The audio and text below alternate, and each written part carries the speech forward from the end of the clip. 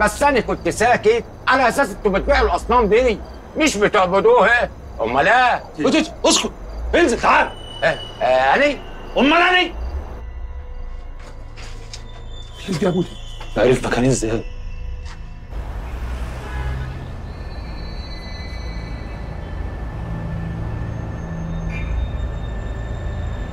وصل. والهانم طبعا مستنياه فوق. خلاص. حلاوتك هتوصلك مكانك.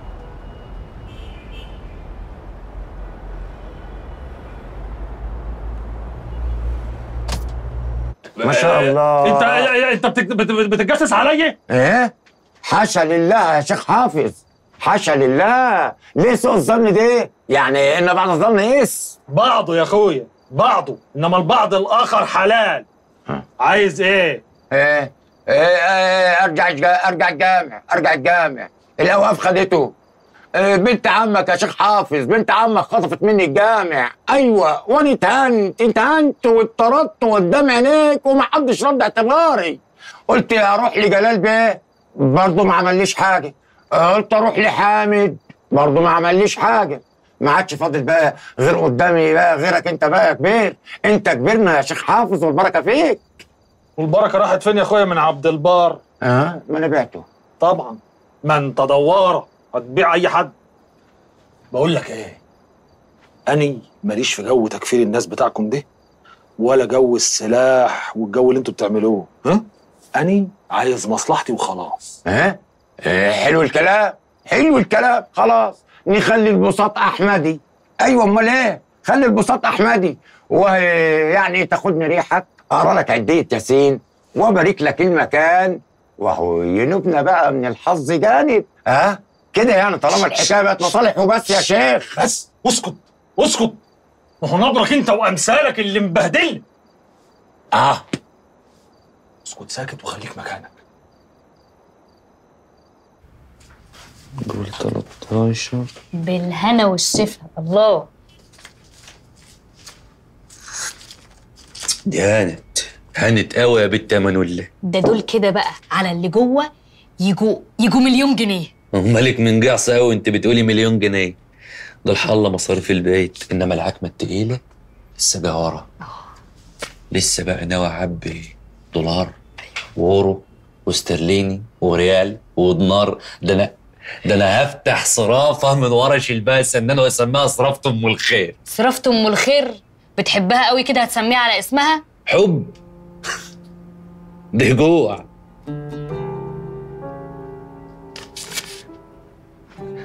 أصل اللي بطنه بتقرصه من قلة الأكل.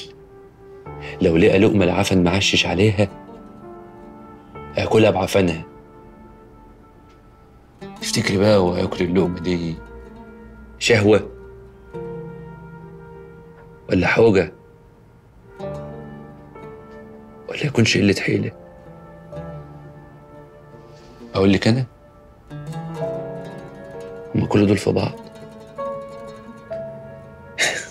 هو ده اللي خلى العيل اللي كان شغال مرمطون عند الناس ومالوش قيمة يبيع نفسه في سوق شلباه سنان عشان يبقى محجوب أبو حريز اللي فارق كتافه على تل شبورة تمم من كبيرها لصغيرها. محجوب اللي تقل جيبه خلى كلمته سيف على رقاب الناس. فهمتي؟ فهمت. طب الناس الغلابة اللي بتاخد منهم الفلوس دول ما بيجوش في بالك؟ ما بيشغلوش ضميرك؟ يكشي يولعوا كلهم بجاز ولا يشغلوا بالي ولا تفكيري. دي عالم طماعة. آه والله. شغلانتي دي اللي تكسبك 100% من الفلوس. إلا بقى لو كانت آثار ولا مخدرات ولا أي شغل شمال. وبعدين يا بنتي الفلوس دي متعاصه بمخدرات أنا بطهرها. طيب. خلاص اهدى. والواد زيزو فين وديته عند امه حلو.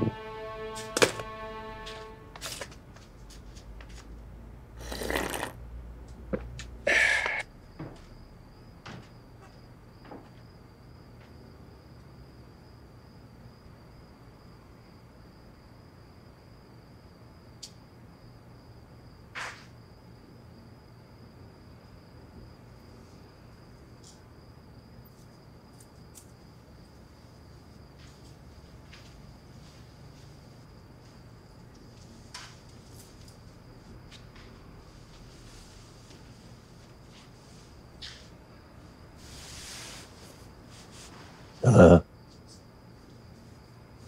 ما كنتش حابب إنك تعرفي بالطريقة دي والحقيقة يعني ما كنتش حابب إنك تعرفي خالص ليه يا أمين؟ عملت لك إيه؟ تضربني في ظهري ليه؟ قصرت معاك في إيه؟ أنت عارفة يا سهير أنت عارفة ابوس إيدك. بلاش نفتح في مواضيع ممكن تجرحك. وبعدين أنا كل الحكاية إني كنت عايز أشيل عنك همي. أشيل عنك عبء حاجة أنت مش قادرة تسد عليها.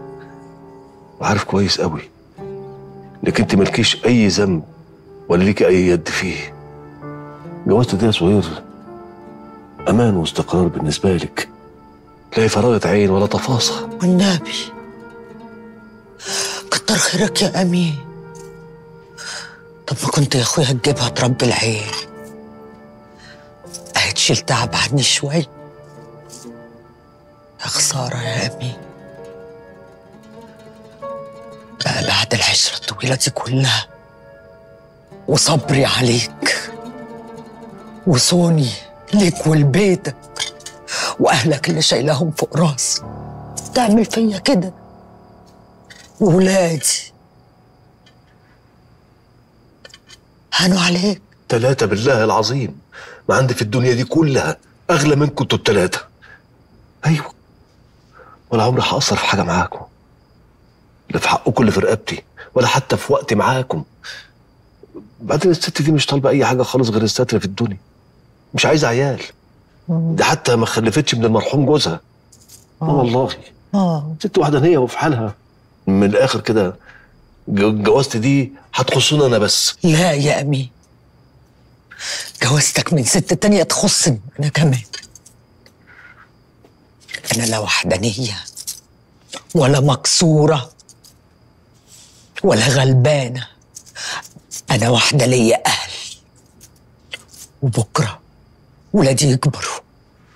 ويبقوا هم ظهري وسندي. وأنا مش عايزة منك حاجة.